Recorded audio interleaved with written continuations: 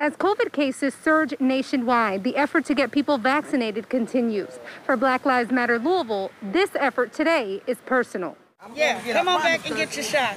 Conversations like this for Black Lives Matter leader Harriet Rankin mean more now than ever. People need somebody to talk to, somebody who can understand them, and this is going to be that place for them. For her, the virus is now personal. She tells me her nine month old cousin is currently on a ventilator. I got a phone call last night that a nine month old um, was rushed to the hospital for the second time and put on a ventilator. And it is my cousin. Um, so my heart is heavy for them. And she's only a baby. And she got it, you know, because I think her mom got contracted and and the grandma and everybody's sick and it's just very sad. More than 2.3 million Kentuckians have been vaccinated, but with the situation growing more dire with cases rising due to the highly contagious Delta variant, more people are getting vaccinated. In Jefferson County, 1,000 more people got their first dose this week compared to last week. But the numbers also show disparities. The black community have almost always been overlooked, and we are doing a, better job of reaching out to them, and that's why we've brought it all the way here.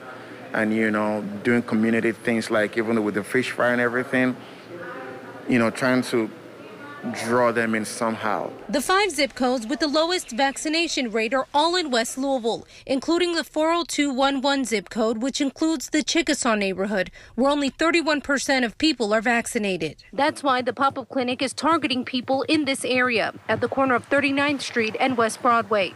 But an hour and a half into the clinic, team leader Oluwasegun Abe only vaccinated two people. But as fish fried in front of this old church turned pop up clinic came three. Where they shoot, where they giving them to you? On the inside, that guy with that hat will walk you right on in. Hosting this clinic, you have to get trust from your people. That's just the main thing. And um, that's what we're building. Um, trust in the community for us to help them. And even though the lines at clinics, once massive, are now almost non existent. Yeah, not bad. It just stings a little bit, but not bad. Behind every shot is an even bigger picture. The journey of a thousand steps starts from just a, uh, from a step. So, you know, if this is one step closer to the goal. Gladys Bautista, WLKY News.